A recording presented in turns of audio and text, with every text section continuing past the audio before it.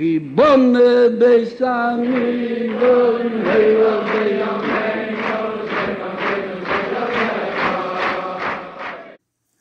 Olá, gente. Shalom, shalom a todos. Estamos iniciando nosso estudo diário das sete leis. E hoje é quinta-feira, quinto dia da semana, 26 de maio do ano de 2022, 25 de ar do ano de 5782 da criação então, estamos entrando em mais um dia, mais um dia que o Criador fez para nós, mais um dia maravilhoso. Que a chance esteja abençoando a você e muitas bênçãos para você, para sua família, para todos aqueles que estão em torno de você nesse dia maravilhoso. Então, gente, no último estudo diário das sete leis, nós aprendemos que é, quão importante é o, a pessoa entender que um Benoa também ele pode residir dentro da, dentro da terra de Israel, desde que desde que ele possa residir dentro da terra de Israel, desde que pela Torá, estamos falando, né? Desde que ele seja um cumpridor das sete leis e suas ramificações, ou seja, ele seja realmente um monoteísta de verdade. Então, neste momento, ele pode cumprir, ele pode permanecer ou estabelecer-se dentro da terra de Israel. Vimos também a importância da prece. E hoje a gente vai estar avançando mais um, mais um passo importante no nosso estudo diário do Guia Benenoa. Então, no estudo de hoje, nós vamos estar é, analisando o texto que se encontra no capítulo 5, no parágrafo de número 6. Capítulo 5, o parágrafo de número 6 da leitura diária do Guia Benenoa. Na leitura diária de hoje, estamos na página 30, tá bom? Na página 30, na segunda edição.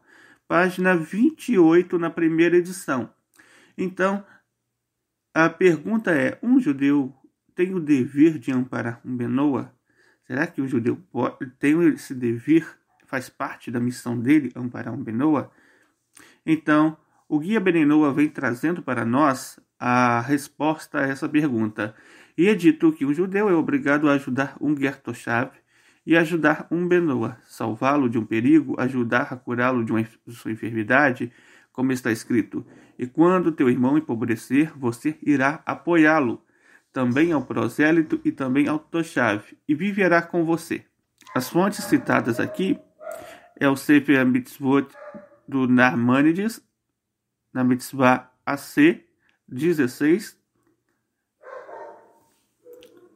A outra fonte citada aqui é Shut Hatmea Tzedek Oredeia Siman 83 e o Maimônides Leis de Idolatria 10, 2. Então daqui nós aprendemos o seguinte, que entre as várias atividades que um judeu tem para trazer santidade ao mundo, para elevar as centelhas, ele também tem a missão de amparar aquele que é um Benoa, ou aquele que é um Gertoshav. Na verdade, só uh, a questão aqui é relacionada com a questão de proximidade. Praticamente dizendo, um Benoa ele é considerado um próximo ao povo judeu, assim como o judeu é considerado um próximo a um Benoa. Lembrando que o conceito de próximo é o mesmo conceito de Ahabat Israel, tá? ou seja, do amor a Israel.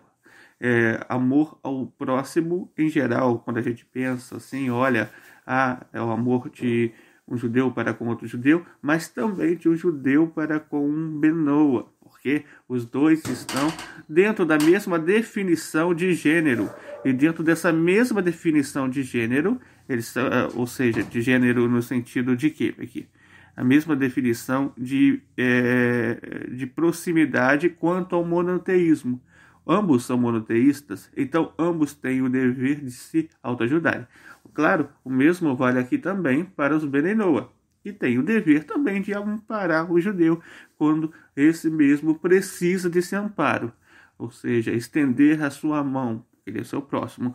Um Benoa também, para com o outro Benoa, ele tem esse dever também de amparar uh, o seu amigo, aquele amigo que realmente está entrando numa situação difícil, está passando por uma situação financeira complicada, e antes que ele venha declinar de vez, você tem que estender a mão para ele e ajudá-lo. Se você, é claro, tem essas condições necessárias para fazer isso, é seu dever, é sua missão fazer isso. Aliás, isso também entra dentro da promoção da justiça, fazer aquilo que é justo, conforme a sétima lei nos ensina que nós devemos estabelecer tribunais de justiça e atos também de honestidade, de caridade, de amor ao próximo, que promova para uma sociedade sadia, justa, mas também que faça com que a nossa missão espiritual esteja se concretizando nesse mundo aqui, no dia a dia.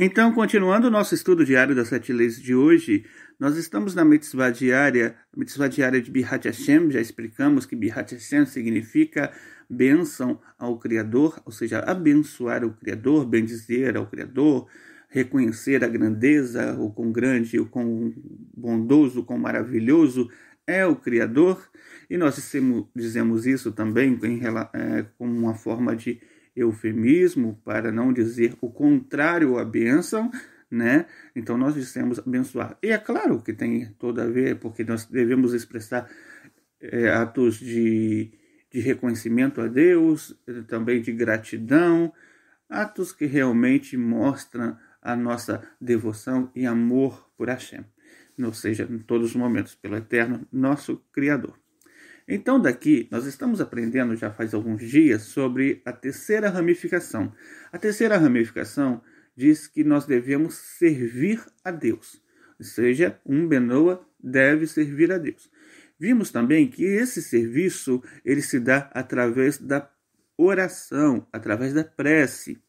Esse serviço se encontra lá em Êxodo capítulo 23, versículo 25, no qual está escrito: e você servirá o eterno seu Deus. E você servirá o eterno seu Deus. Então, daqui nós aprendemos a orar verbalmente a Deus, pelo menos uma vez por dia e sempre que necessário, expresso de uma maneira adequada que inclua tanto louvores a Deus quanto os pedidos de suas próprias necessidades, para compensar a falta de conhecimento sobre quais palavras usar na oração os sábios formularam textos padronizados para as orações, conhecidos como Sidur. Um Sidur é um livro de orações.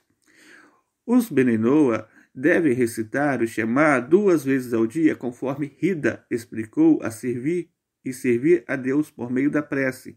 O Sidurim, ou seja, os livros de orações, fornecem orientações excelentes e os Benenoa podem usar a maioria dos textos de oração do Sidurim. Atualmente foi desenvolvido um Sidur Beninoa para a comunidade fazer suas preces de forma segura. A recitação dos salmos também é uma forma totalmente eficaz de se dirigir a Deus. Então hoje nós vamos aprender mais um passo em relação à prece. É, ontem nós estamos, ontem estivemos vendo que a prece ela deve ser feita nas primeiras horas do dia. É um momento adequado ideal. Ou seja, assim bem de manhãzinha. Agora nós vamos ver como que nós iniciamos, qual o passo para se iniciar a prece. Está escrito aqui que antes de começar a oração deve-se dar pelo menos uma moeda, talvez uma moeda de 50 centavos ou de um real para tzedakah, para caridade, é, traduzida como caridade. Na verdade, tzedakah significa justiça, significa você ser justo. Ou seja, quando você dá algo para a caridade, você está cumprindo um ato de justiça. A moeda deve ser separada, por exemplo, colocada em uma lata ou caixa com uma fenda no copo, reservada especificamente para ser dada aos pobres ou aos programas de estudo da Torá. Em caso de dúvidas, pode-se sempre dar o dinheiro a um rabino ortodoxo em uma sinagoga ou uma yeshiva, uma yeshiva é uma escola de Torá, tá? Ele vai colocar o dinheiro para o uso adequado Ao dar a tzedakah, mostramos misericórdia imerecida para com os outros. Em troca, Deus mostra misericórdia imerecida para conosco. Não importa quantas boas ações realizamos, nunca devemos supor que temos mérito suficiente para merecer as bênçãos de Deus. Devemos sempre pedir a misericórdia de Deus, acima e além de qualquer coisa que possamos merecer. E Ele nos responderá. Olá, gente. Então, como nós vimos hoje, nós vimos hoje na explicação da mitzvah diária, nós podemos observar que quão importante é nós estarmos demonstrando a piedade, misericórdia pelas outras pessoas, estar usando da tzedakah, da caridade, para demonstrar esse ato, transformando, é claro, aquilo que é puramente material em um sentido mais espiritual, ou seja, em esperança, em compaixão, em amor para com os outros. E não somente isso, nós vemos aqui também a importância de entendermos esse, é, esse conceito. Quando você vai procurar na segunda edição do Sidur Beninoa, antes do Matovo, né? Antes do Matovo, tem ali o espaço para fazer a sua tzedakah. Então nós fazemos a tzedakah, em seguida nós iniciamos o serviço das preces.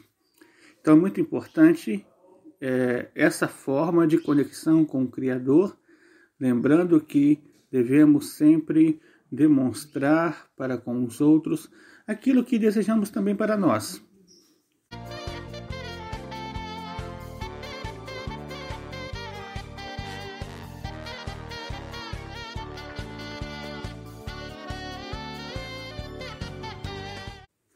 Então, gente, continuando o nosso estudo diário das sete leis de hoje, estamos na terceira parte agora. A terceira parte é, é o estudo do Sidur diário, nosso estudo diário do Sidur Beninoa.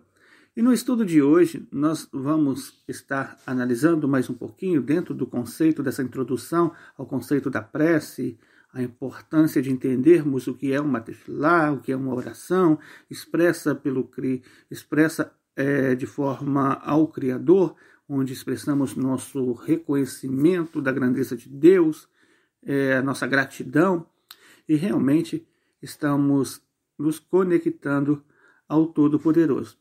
Existe um importante conceito em todo o Sedur que você vai estar manuseando. Esse conceito é o conceito do costume, tá?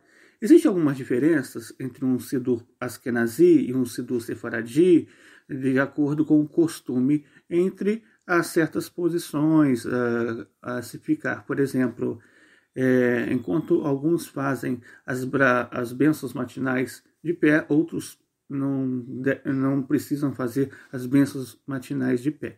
Uh, no nosso Sidur, né, no Sidur Beninoa, nós vamos seguir o rito do Arizal, que é o rito do Sidur Terlat Hashem, que é o Sidur Rabad. Esse, o Sidur Beninoa, ele é inspirado, né? Ele é inspirado no Sidur Terlat Hashem. Então ele vai usar praticamente as, o mesmo costume na hora das preces. Então precisamos também estar familiarizados com esse costume para fazer da forma adequada. O costume, texto ou forma, às vezes ele pode ser usado no sentido do costume como rito. Ao você abrir o seu Sidur, você vai encontrar na primeira página uma indicação sobre qual costume ele pertence. Esse pode ser o, costume, por exemplo, sefarade, o espanhol, né?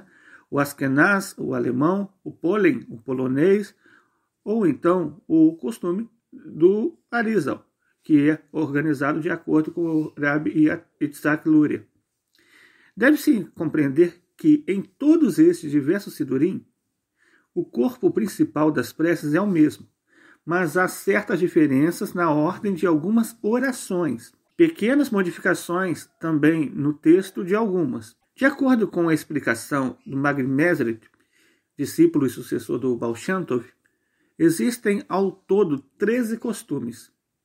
Cada um representa um grupo ou um portal. O Rabi, Tzak Luria compôs o costume do portal geral, através do qual qualquer judeu pode entrar e chegar à presença de Deus. Também, é, referente aos Benenoa, eles também têm, é, usam do rito do Arizal, também, porque por ser uma questão mais geral. O primeiro Sidur impresso foi o do costume Romi, dos judeus italianos, em Socini, Itália, em 1486. O primeiro Sidur, Askenaz, foi em Praga, em 1513, e segunda parte em 1516. E o primeiro costume sefarade, em Veneza, em 1524. Com o passar do tempo, outros, outros Sidurim, né, outros livros de preces, de orações, foram impressos de acordo com os costumes poloneses, romenos, balcânicos e de outros países. Quando o Rabi Tzak Luria organizou o Sidur de acordo com a Kabbalah, muitas comunidades o adotaram e uma nova série de Sidurim é, do rito Arizal foi impressa. Os impressores nem sempre eram bastante cuidadosos com a impressão, e não raro acontecia alguns problemas.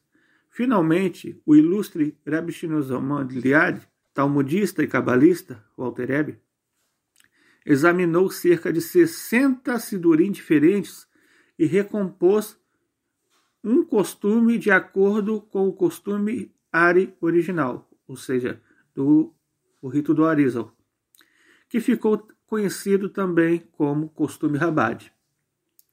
Qualquer que seja o costume tradicional seguido, é sagrado e aceitável por Deus.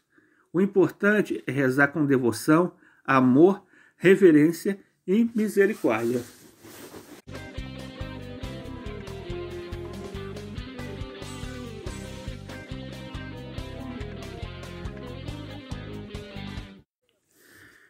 Então, vamos a alguns informes nesse dia de hoje, algumas divulgações do qual nós precisamos estar notificando a todos alguns detalhes importantes, entre eles a tarde com a Torá, pela direção do nosso emissário José Marmol, ela traz bastantes ensinamentos milenares diretamente para iluminar a sua tarde. Todos os dias, à tarde, você tem um encontro marcado com a sabedoria e conhecimento do Eterno, diariamente às duas horas, pelo Facebook. Você também pode entrar em contato com o emissário José Marmol pelo WhatsApp 14 997 15 0241. 14 997 15 0241. O grupo de salmos, se você deseja participar de um grupo com recitação de salmos ou ainda incluir o nome na lista dos salmos para qualquer necessidade, seja ela sustento, saúde, provisões, etc., para participar de um grupo exclusivo de recitação de Terrilim e recitação de salmos. Lembrando que o salmo ele refina a alma. Para você participar é só entrar em contato com a Vânia, a Vânia Branco, pelo WhatsApp 31 8505 5632 31 8505 5632. Mais, uma, mais um recado também, gostaríamos de falar sobre o encontro que vai ocorrer dentro de poucos dias, esse encontro estará sendo feito é, na cidade de Palhoça, a cidade de Palhoça, Santa Catarina, que é a cidade do emissário responsável por lá, é o emissário Jonatas. Esse encontro será o dia 29 de maio, às 13h30, a contribuição será de 10 reais. Você pode estar se inscrevendo também pelo Instagram, Instagram arroba beneinoasc, arroba beneinoasc, e a participação online com o Rabino Michel Tabatnik, o professor de chapéu. Essa programação vai ter, entre algumas questões, 13h30, reza da tarde, 14 horas, palestra a Vinda de Mashiach. 14h30, músicas. 14h45, palestra interativa. 15h45, coffee break. 16h45, participação do Rabino Michel Tabatnik, o professor de chapéu. E 17h15, sorteios, foto do encontro e finalização. Será muito importante você que está próximo à cidade de Palhoça ou na cidade de Palhoça e arredores estar participando. Um abraço para toda a comunidade beninoa da cidade de Palhoça.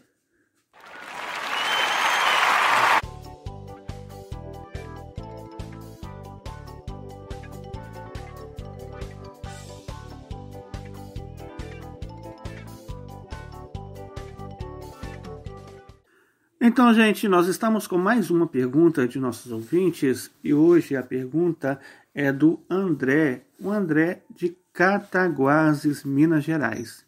E a pergunta que o André envia para a gente é a seguinte: qual o verdadeiro significado de Gênesis capítulo 12, versículo 2 e 3? Gênesis capítulo 12, versículo 2 e 3. Primeiro vamos entender é, o que está escrito nesse texto essa seção ela é tratada na Torá, na Parashá Lehá, no livro de Gênesis 12, 2 e 3, e diz o seguinte: E eu farei de você uma grande nação e te abençoarei, e vou engrandecer o seu nome, e você será uma bênção, e abençoarei aqueles que te abençoarem, e eu amaldiçoarei aqueles que te amaldiçoarem, e todas as famílias da terra se abençoarão por você.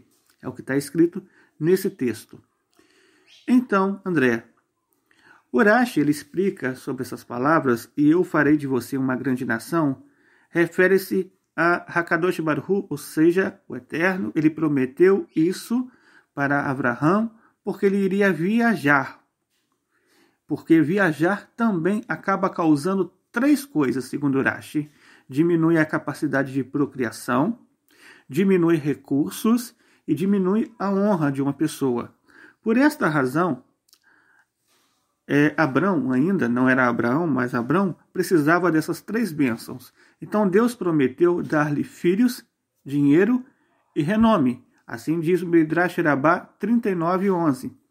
Este é o significado da frase irei engrandecer o seu nome. Eis que mais tarde acrescentarei uma letra adicional ao seu nome, Bem, até agora seu nome era Abrão, mas a partir de agora será Abraão. Por causa do que Deus adicionou ao nome Abrão, a letra rei, e portanto seu nome passou depois a ser Abraão, no capítulo 5 do, melhor dizendo, no capítulo 5, 17, né? No versículo 5 do capítulo 17, Rashi explica que o nome de Abraão significa pai de, Ab... pai de Abraão, enquanto o nome Abraão significa pai de uma multidão de povos. Enquanto com as palavras eu vou abençoar significa que será por meio do dinheiro, como encontramos no Midrash Rabá 39:11, onde o conceito da palavra brahá, bênção, em hebraico implica abundância de dinheiro ou bens materiais. E você será bênção, refere-se à sensação de que o poder de conceder bênção será colocado em suas mãos. Até agora estava apenas em minhas mãos, somente eu abençoei Adão, assim diz o Eterno, em Gênesis 1, 28, Noa, Gênesis 9, 1, e você mas a partir de agora você pode abençoar quem quiser e isso se tornará realidade. É por isso que a frase você será uma bênção não pode significar que Deus bendito seja concedido bênçãos a Abraão, visto que ele já havia prometido isso quando disse, quando disse anteriormente: Eu te abençoarei. Portanto, significa que ele lhe concederá o poder de conceder bênçãos a outros por ele mesmo. E eles abençoarão por você. Seu significado claro é que é comparável a um homem que diz a seu filho: Seja como Abraão, ou e os homens abençoarão uns aos outros por você. Perceber todos os casos em que a expressão aparece nas Escrituras devem ser compreendidos da seguinte forma neste versículo: E para você, Israel abençoará, dizendo: que Deus faça você como Efraim e como Menashe, conforme diz em Gênesis 48, versículo 20. Então, respondido mais uma pergunta, se você deseja enviar a sua pergunta para nós pelo nosso WhatsApp 22992 07 3070. Fique à vontade. 22992 07 3070. Então, gente, estamos chegando, estamos chegando em mais uma reta final no nosso programa diário e hoje, mais uma vez, você aprendeu algumas questões bem importantes entre elas. Entre elas, você aprendeu que um judeu ele tem o dever de estar ajudando um Gertoshav ou um Benoa ele tem esse dever de estar estendendo suas mãos. É claro que esse dever é de um Benoa também para com o outro, tá? Nós não estamos isentos. E até mesmo de ajudar os judeus, nós devemos ajudá-los também. Aprendeu também, você aprendeu também na mitzvah diária de hoje, que antes de iniciar as nossas preces diárias, nós fazemos uma tzedaká, colocando na caixinha de tzedakah uma moedinha ou duas, conforme sua preferência. Nós aprendemos também nesse dia de hoje a diferença que existem entre os costumes no Sindorim. E vimos que também no nosso Sidur Beninoa, eh, nós utilizamos, baseados no, no Sidur Terrelat Hashem, o, o costume Rabad, que é o costume do Arizal. Foi muito bom estar com você por mais um dia e que seu dia seja ótimo, perfeito, abençoado. Que a Hashem lhe dê muitas e muitas brahot nesse dia maravilhoso que ele fez diretamente para você. Não apenas isso, que a cada dia você esteja se elevando mais e mais a cada momento, a cada minuto, a cada segundo. E amanhã Estaremos de volta neste mesmo horário. Shalom, shalom a todos. Vamos celebrar e nos alegrar, vamos todos festejar, vamos Binenoa, vamos cantar com toda a força. Vamos celebrar e nos alegrar, vamos todos festejar, vamos Binenoa, vamos cantar com toda a força. Foi o Eterno que me fez assim. Eu sou Binenoa, sou feliz. Foi Eterno que me fez assim. Sou Binenoa, sou feliz. Ai, ai, ai. Foi o Eterno que me fez assim. Eu sou Binenoa, sou feliz. Que me fez assim. Sou Binenoa, sou feliz. Vamos celebrar e nos alegrar, vamos todos festejar. Vamos Binenoa, vamos cantar com toda a força.